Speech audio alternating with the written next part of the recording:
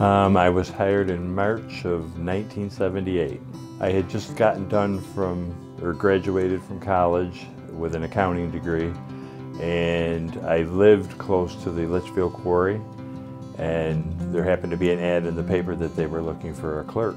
So I thought, why not? I'll apply.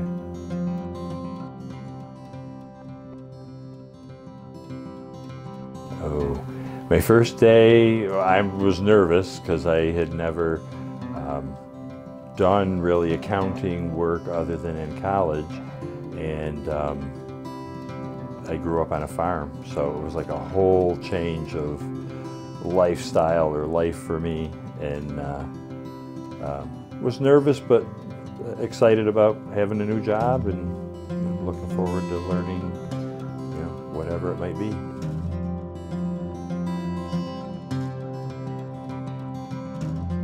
Um, I started as a plant clerk at the Litchfield Quarry.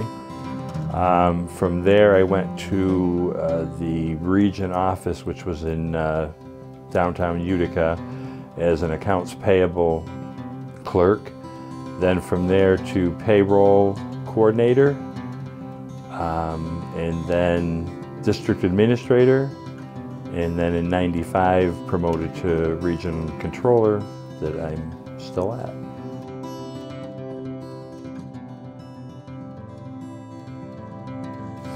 I think my favorite position um, was when I was doing payroll coordinator.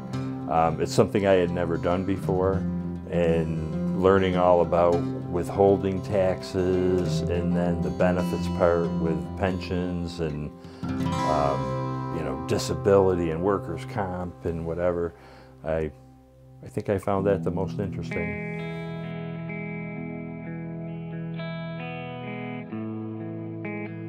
My workload as a plant clerk, because that's where I was at the time, seemed to, it, it well, not seemed, it did increase. And um, uh, COLAS required more detail than I was used to doing for the first couple years when it was Allied Chemical.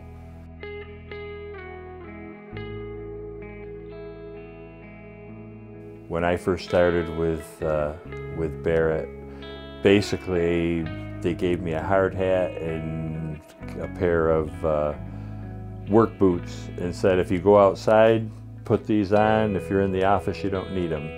That was kind of the whole safety talk. and now, safety with daily huddles, it's, it's just a constant topic. Um, we're, we're always talking about safety before we do any project. We're, you know, how do we do this, you know, plan for it, if there's any lifting or anything, you know, how are we going to take care of this? Do we need any equipment or uh, an extra person to help lift it up? But uh, safety is uh, in the forefront for sure.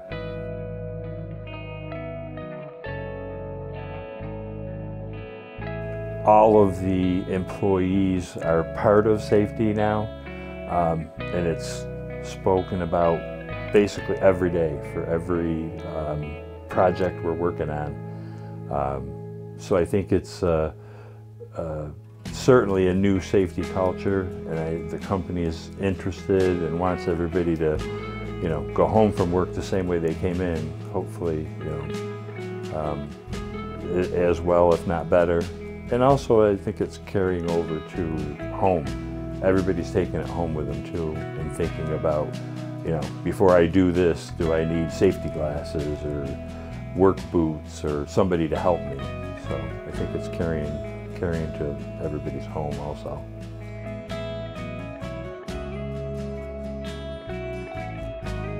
Safety is probably the biggest change.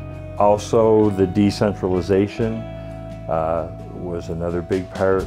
Uh, each region can operate somewhat on their own, you know, and make uh, quicker and faster decisions. You know, those are, I think, the two biggest things, the safety and, and the decentralization.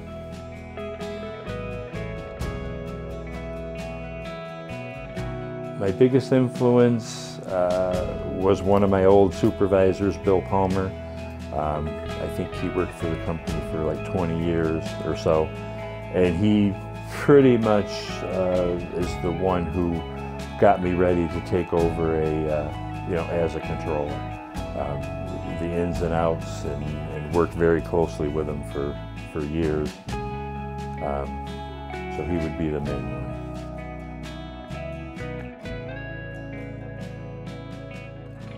The advice for the past me would be to work hard, listen, and uh, learn as much as possible.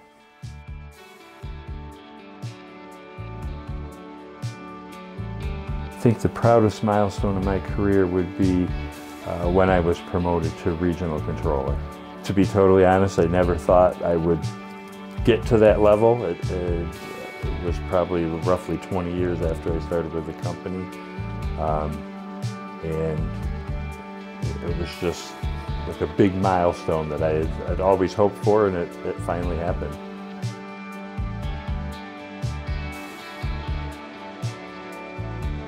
Uh, I would say is uh, fulfillment. Um, I had fulfillment at my job uh, in being able to, you know, expand my career basically with one company. Um, and also fulfillment for my family and my, my, my two sons.